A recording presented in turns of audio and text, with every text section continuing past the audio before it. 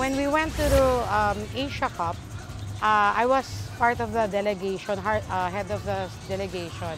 Since the girls are playing for the first time internationally, so medyo, syempre, iba yung platform. And then, they adapted very well. Alam mo naman ng Pinoy, magaling mag-adapt. So, during that time, um, they try to learn how to to do their thing na magpo-prosper yung skill nila during the game. So, we were happy with the adjustment and towards the end, um, a podium finish. So, Sa, para sa akin po, proud na proud po ako sa team namin. Kasi, actually, nung, nung una po, ma, mahirap makisama sa ibang team. Kasi nga po, bunot lang din po kami.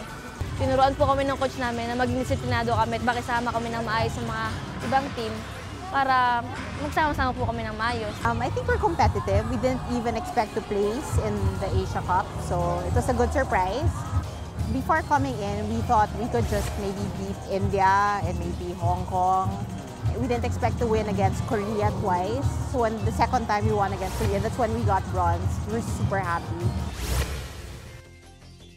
Minsan medyo medyo ano, medyo medyo may kaba din. Tulad nun, pag na, nag, nag, nung kalaban po namin ay Japan, medyo kabado po nun. Pero nung time po na naglaro na po, nung first inning, sabi, po na, sabi ko po sa kanila na kaya, po, kaya natin to, manalo man tayo o matalo, basta gawin natin lahat ng makakaya natin, yung best natin. Actually, number one is the confidence of the girls that they know that they belong to the international arena. And then um, that softball is also one of the teams dito sa Philippines that will go a long way from the grassroots. To think that these girls only train three months prior to Asia, what more if we really prepared for it? it opened up another door for the younger generation. This is the first time that the girls played for the 15U in the world, I mean Asian, Asian level. Ito yung first door na nag-open, which will open for doors sa mga younger generation for other Filipino softball players to be with. Na alam natin na, alam na natin before in the 80s, isa ang Pilipinas na namamayagpag sa buong mundo in terms of softball. So we wanna gain that back. You know what? At the start, nag-budget kami. Oh, bagong jacket, bagong t-shirt, bagong gusto namin matching backpacks. Pero nung nalaman namin na yung food babayaran pala namin, eh mahal yun sa Japan.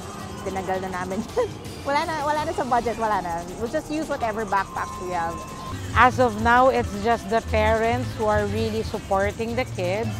Um, Pasig is trying to help out with their LGU as, as well as Bulacan. And then um, we have, we're trying to have some help from Asafil. Siyempre, limited din. And of course, you know that four teams will be going for the World Cup. So, medyo strain ang budget ng Asafil for those four teams na aalis for the World Cup.